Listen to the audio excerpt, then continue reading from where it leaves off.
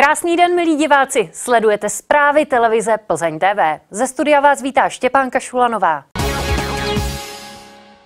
Město Plzeň chce některým mateřským školkám přidat peníze na to, aby mohli mít letos otevřeno i po 16. hodině. Peníze poskytne svým obvodům, které je pak vybraným školkám vyplatí. Konkrétně se jedná o 2,4 milionu korun. Rozhodla o tom Rada města s tím, že tento návrh ještě předloží zastupitelstvu. Na území města funguje 40 mateřinek spadajících do kompetence obvodů. Prodlouženou dobu má 31 z nich.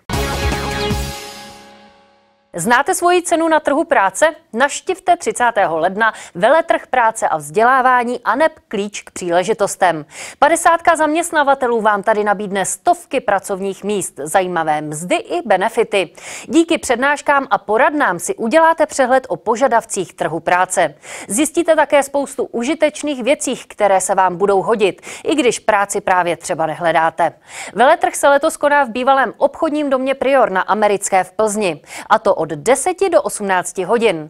Program i nabízená pracovní místa najdete také na webu práci.najdisi.cz.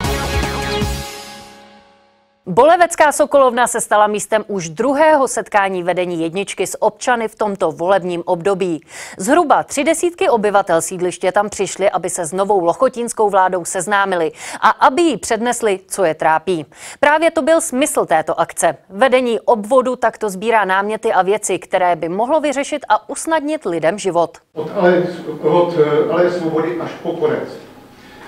Mají parkoviště před Albertem, nebo respektive u těch, u těch garáží. Jo. Pochopíte, že všichni tady ty, ty tam busy a tak dále parkují v Sokolovské, kol, nebo v Sokolovské a v Kolmonově na hlavní to. Dá se s tím něco udělat, dá se dát nějaký zákazový značky a hlavně, aby to bylo kontrolovatelné. My jsme zvyklí na to, že občané volí jakákoliv témata, která se jim zrovna připadají aktuální. To může být zimní údržba komunikací, parkování, že to může být vůbec doprava, e, čekají nás velké uzavírky, bezpečnost, bezdomovci. Jsme připraveni odpovídat na všechno, co budeme vědět. Námětů a připomínek bylo opravdu hodně. Tady jsou jen některé z nich. Máme jednu připomínku za SVJ Kaznějovská 1.3 a to, že nám roste planě šípkový keř do chodníku, který nevidí zejména starší lidé a malí děti si tam běhají, jsou potrhaní, tak si na to chodí stěžovat k nám, jako na výbor. Už několikrát jsem jako urgovala, že třeba přístup k Penny není dostatečný, že je tam vyšlapaná cesta, nikdo ji neupraví, jsou tam v tom díry, lidi si tam můžou zlomit nohy, klouže to tam. Tak třeba úklid kolem popelnic. Zrovna teď po Vanocích je to strašně aktuální, protože tam zbylo takového nechci říkat čeho. Eh, už u toho prvního setkání jsme to udělali tak, že ne všechno můžeme vyřešit, na všechno zdaleka nejsme kompetentní, ale dnes máme tu výhodu, že sem přijdou i dva náměstci primátora, pan náměstek Vozobule, ten je pro dopravu, a technický náměstek, pan magistr Šindelář,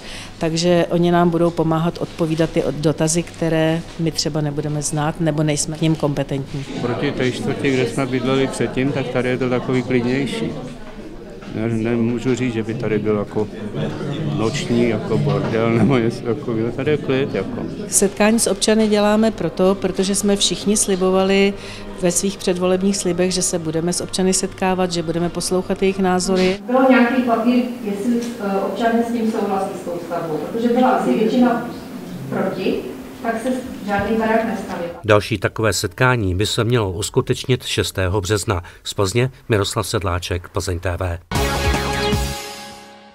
Hokejisté Škody Plzeň zvítězili v dohrávce 18. kola Extraligy nad Piráty z Chomutova 3-2. Západočeši v zápase dvakrát prohrávali. Vojtěch Němec ale po každé vyrovnal.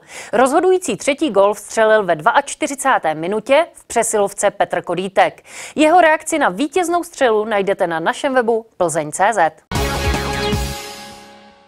Já už se s vámi loučím, milí diváci. Zprávy jsou u konce. Vy už se můžete těšit na pořad s hejtmanem na rovinu. Mějte krásný den.